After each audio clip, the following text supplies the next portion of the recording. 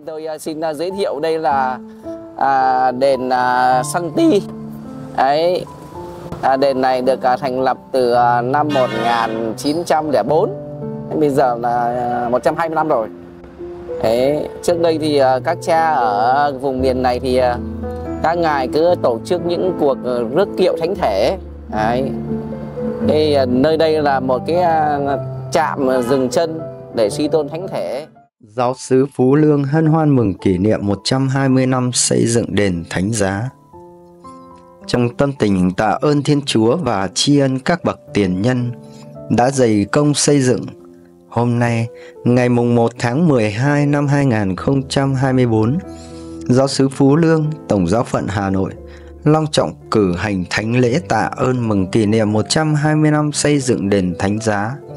Đây là một sự kiện đặc biệt, đánh dấu hành trình lịch sử đầy ý nghĩa trong đời sống đức tin của giáo xứ. Thánh lễ tạ ơn được chủ tế bởi cha quản hạt giáo hạt phủ lý, cha An Tôn Trần Quang Tiến. Với sự hiện diện quý báu của các cha trong hạt, các hội đoàn thuộc các giáo xứ và đông đảo bà con giáo dân trong và ngoài giáo xứ. Thánh lễ diễn ra trong không khí trang nghiêm và sốt sáng, tràn đầy tinh thần hiệp nhất và tri ân. Đền Thánh Giá Giáo sứ Phú Lương được khởi công xây dựng cách đây 120 năm, nhờ công sức của các bậc tiền bối với lòng nhiệt thành và đức tin kiên vững. Đã trải qua bao thăng trầm lịch sử, ngôi đền vẫn đứng vững, trở thành biểu tượng thiêng liêng, nơi quy tụ cộng đoàn và là chứng tá sống động cho tình yêu và sự quan phòng của Thiên Chúa. Hôm nay, trong tâm tình tạ ơn, tri ân Thiên Chúa đã luôn đồng hành và gìn giữ giáo xứ qua mọi thời đại. Nhớ ơn các bậc tiền nhân, các đấng bậc đã hy sinh, đóng góp công sức cho sự phát triển của giáo xứ. Cảm tạ cộng đoàn, các ân nhân, thân nhân luôn đồng hành và hỗ trợ để giáo xứ ngày càng thăng tiến.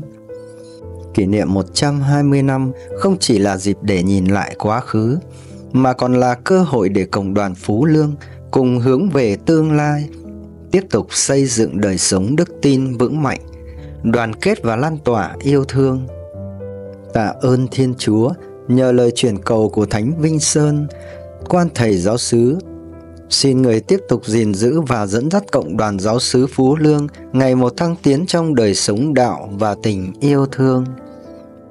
Ngày lễ kết thúc trong niềm vui tràn đầy của toàn thể cộng đoàn, những hình ảnh tươi đẹp, những lời cầu nguyện sốt mến và tình yêu thương lan tỏa chính là minh chứng rõ nét nhất cho một giáo sứ Phú Lương đoàn kết, vững mạnh và tràn đầy hồng ân Thiên Chúa.